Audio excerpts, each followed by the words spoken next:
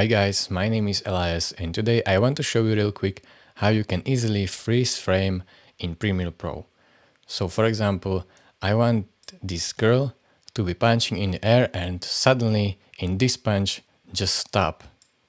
So what I want to do is go on the part where I want her to stop the punch and right click on your mouse and go over to add frame hold. Select that and as you can see the cut has been made in my clip uh, exactly where the playhead was. And when I play it back as you can see unless the cut happens the video is playing and then boom it is frame hold. So that's basically how you freeze frame in Premiere Pro. If this video was helpful, please like the video, subscribe, comment down below what you want to see next and see you in the next one. Bye.